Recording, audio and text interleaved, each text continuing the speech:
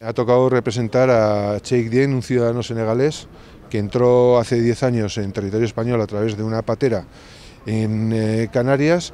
Poco después se trasladó a la península, lleva viviendo en la comarca de Pamplona eh, casi nueve años. Desde entonces está perfectamente integrado tanto en la sociedad como en el barrio de La Chantera, donde fundamentalmente se mueve. Y eh, contra él hay una orden de expulsión dictada por la delegación del Gobierno en junio de 2016 con, eh, basada en que eh, carece de papeles, que está residiendo irregularmente en, el Estado. No le acusan de ningún problema penal ni ningún problema administrativo, porque en estos 10 años no ha tenido ninguno. Y nosotros, por contra, lo que pensamos es que tiene una magnífica defensa en el sentido de que el arraigo social que él tiene, que ha demostrado por el apoyo que está recibiendo de todo tipo de entidades, incluso ayer hubo 14 parlamentarios forales dos senadores y dos eh, diputados que firmaron un manifiesto de, apoyo. El ayuntamiento de, el pleno del ayuntamiento de Villaba Tarrabia también firmó una, tomó un acuerdo de apoyo a, su situación y contra eh, su expulsión. Y de hecho tenemos sobre la mesa la posibilidad de trabajar en una importante cooperativa industrial de la comarca de Pamplona, pero Cheik, como tantos otros inmigrantes, está en un bucle diabólico. No trabaja porque no tiene papeles y no tiene papeles porque no trabaja. Eso es lo que queremos hoy. Eh, esperamos que en el juzgado poder conseguir anular la orden de expulsión.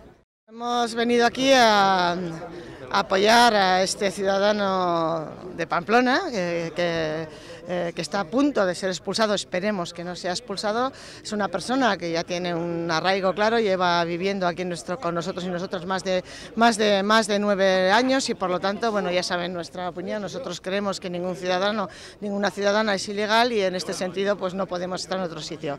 Hemos presentado eh, un escrito de, de, apoyo a esta persona eh, para evitar, para intentar evitar esta, esta expulsión, lo mismo que otros compañeros de otros grupos, de otros grupos parlamentarios y en definitiva eh, nos toca hoy estar, estar aquí en defensa de, un ciudadano, de un ciudadano más eh, eh, como yo y como, y como todos ustedes.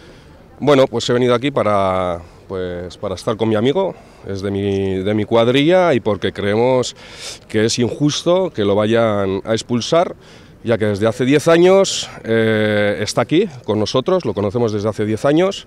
Su vida no ha sido fácil, ¿vale? Y, bueno, lo arropamos y estamos aquí para arropar y porque creemos que es injusto, ¿vale? No creemos que lo expulsen, creemos que tiene un arraigo social en el barrio, además es una persona muy, muy querida en el barrio, entonces pues bueno, pues por eso estamos aquí. ¿Cómo le has visto?